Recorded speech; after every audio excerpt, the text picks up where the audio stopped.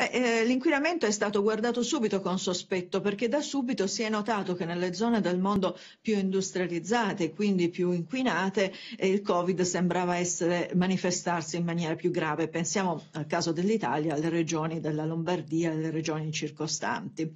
Ora ehm, è uscito in particolare uno studio molto interessante che, eh, nel quale i ricercatori hanno cercato di eh, valutare quante persone che si sono ammalate di Covid e eh, hanno perso la vita si sarebbero invece salvate se non avessero trascorso l'esistenza in un ambiente inquinato. Quindi la percentuale di vittime da Covid che sono morte anche a causa dell'inquinamento.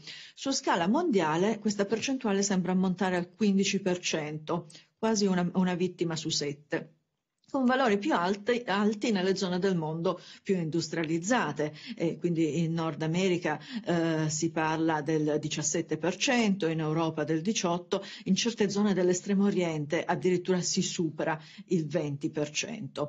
Se guardiamo poi cosa avviene a livello delle diverse nazioni, nella Repubblica Ceca sembra che quasi una vittima su quattro eh, sia deceduta per il, il concorso diciamo, del Covid e dell'esposizione all'inquinamento. In Germania sarebbe una vittima su cinque, in Italia quasi una vittima su sette e nella pulitissima Nuova Zelanda appena una vittima su cento.